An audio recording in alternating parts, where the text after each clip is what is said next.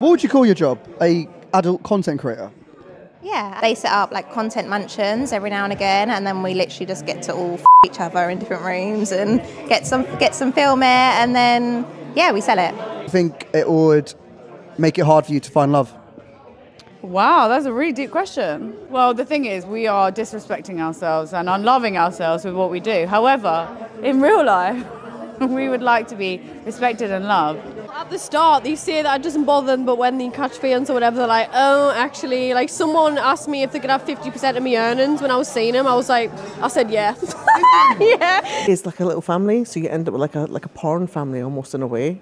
I'm like desensitized by it because I can see a naked person right now and just think nothing. It's really good industry to be in. I think in this day and age, you have to have different forms of money coming in from all sorts of areas. You, if you stick with just modelling, it might be like you might have to get something else, something else. You, all opportunities come in, you're going to accept it if it's if it's for you. So yeah, I've never stopped doing what I want to do. So then you gotta do it. I had it like for like two months and I've made like I don't know like 150k or more um, on it. You see yourself doing this forever then, yeah? Well, yeah, for, for now.